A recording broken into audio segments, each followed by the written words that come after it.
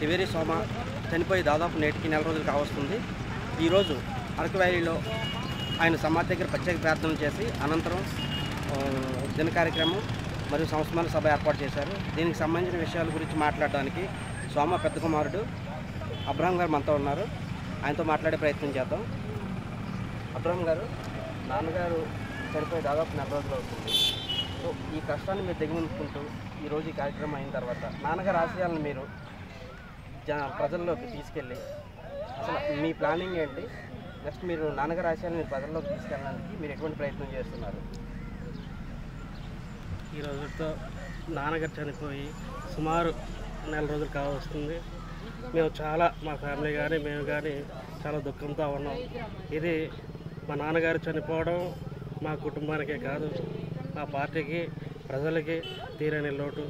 మా నాన్నగారు ఉండుంటే ఎంతో డెవలప్మెంట్ యాక్టివిటీస్ కానీ ఆయన ఒక విజన్ ఉన్న నాయకుడు ఫస్ట్ ఆఫ్ ఆల్ చెప్పాలంటే ఎంతో ముందుగానే ఆలోచించి ఎక్కడ ఏది ఉండాలో అన్ని ఆలోచించి ఆలోచించేవాడు.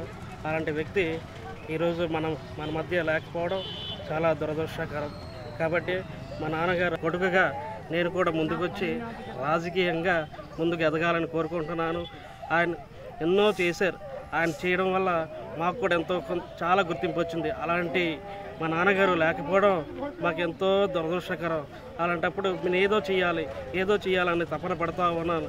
అందుకే మేము కానీ ముందుకు రాకపోతే మమ్మల్ని నమ్ముకున్న జనాలు చాలామంది నష్టపోతారు సార్.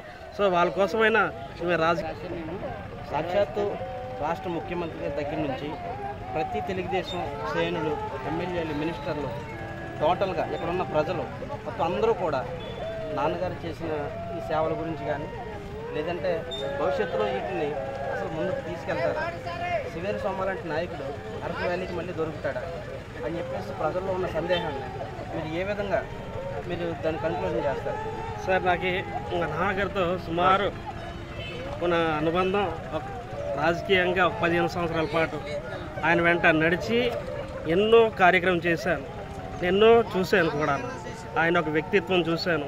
ఆయన ఒక బిహేవియర్ చూశాను. ఆయన డెడికేషన్ చూశాను. ఆయన కమిట్మెంట్ చూశాను. అంతటి వ్యక్తి ఎలా పనిచేస్తానో కూడా చూశాను.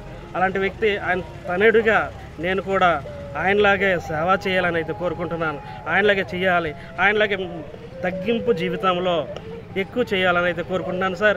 నేను కూడా మా నాన్నలాగే తగ్గింపు జీవితం నుంచి ఎదగాలని కోరుకుంటున్నాను. శివేరు సోమగారి ఆశయాలను ముందుకు తీసుకెళ్ళడానికి ప్రజలందరూ సహకరిస్తే నేను ఎప్పుడు ముందుంటానని ఆ విషయంలో తెలుగుదేశం పార్టీ శ్రేణులు కార్యకర్తలు అరకు వ్యాలీ ప్రజలంతా కలిసి తనకు సహకరించాలని చెప్పేసి ఆ విధంగా సహకారం అందిన రోజు నేను ఖచ్చితంగా నాన్నగారికి నాన్నగారి అంచనాలు అందుకొని ఆయన ఆశయాలు ముందుకు తీసుకెళ్తానని చెప్పేసి మన అబ్రహం గారు తెలియజేస్తున్నారు Thank you.